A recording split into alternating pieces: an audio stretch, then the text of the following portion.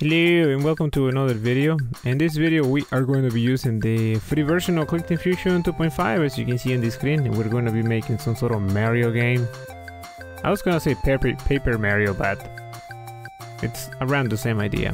Okay so let's open Click Fusion 2.5 and um, here is the example. I'm going to show you what it looks like. Here is Le Mario.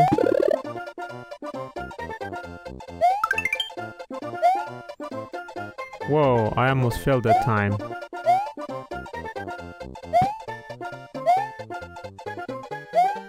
Okay, so let's open the example file and in there you're going to find some graphics and no events. Alright, here's Mario and that's he's just an static object. Let's change him from static to platform object. Speed 20. Gravity I'm gonna set it to maybe 35 jump strength uh, 80 or maybe 90 okay let's try it out. Well we can't really try it now unless that we do some events so let's go to the event editor. And let's set Mario as uh, actually let's set it always so we can uh, scroll so we can center the uh, screen. Uh, relative to Mario. Alright if it collides with the um, the ground which is this active object here which I should show you first this here. Actually I have laid down um, a few of them around.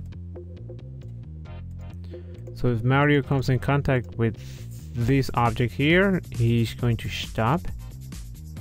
Let's try this. And you can see that this works right away. Oops. Let's try this again. I think he needs to jump a little higher. Let's uh go fix his gravity. Uh let's set this to 20 see what we get And that seems a little better.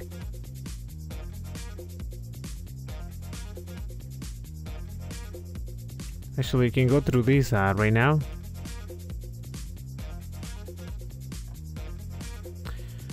Um, let's create a collision between Mario and the brick.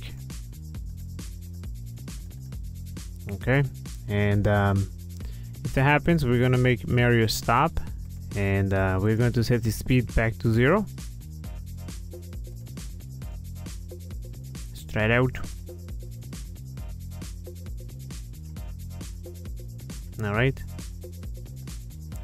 Let's make the the brick play an animation. Here is the animation hit which is um, down here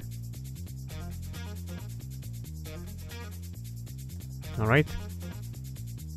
Let's try it out. And you can see that works uh, right away. Um, there's only one problem. Um,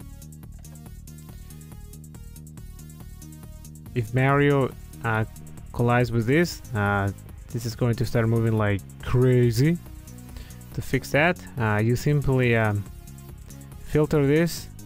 So this only plays if um, animation jumping is playing. Okay so that way it only works when you're jumping. Um, so which means that we have to create another one when he's not jumping. And uh, we're simply going to make him stop right?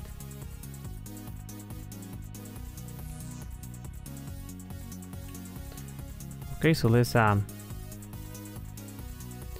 create a collision between Mario and the mushroom. Okay, so if we come in contact with the mushroom, uh, while this mushroom is not overlapping uh, the brick, then we're going to destroy it and we can probably play a sound straight out. Oops. Let's place Mario over here. Oh no. The mushroom is gone. Okay so let's make the mushroom um, at the start of the frame. Uh, let's make it stop. Let's make it invisible. All right. So when we hit the uh, brick um, we want to start the mushroom and make it um, visible again reappear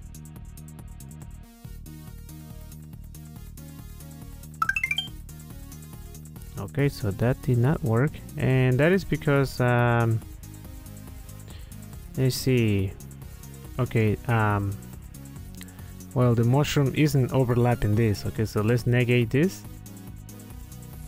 Should work.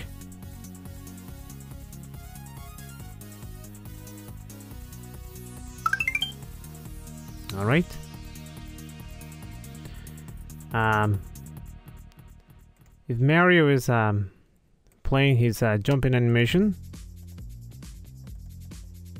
we're going to repeat this only once when this loops display a sound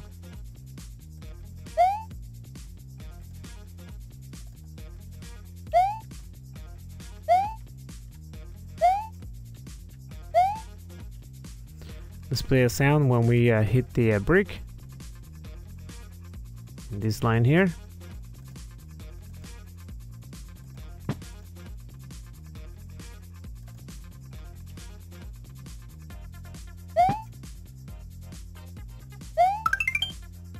and that works fine.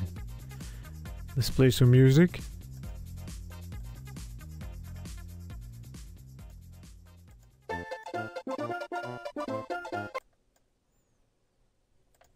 Let's loop that forever.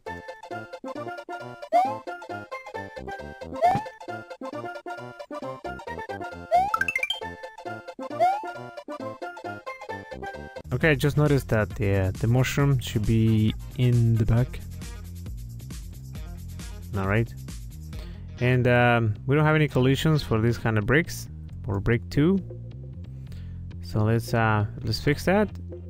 Collision between um, Mario in the uh, second brick we want to make Mario stop. All right.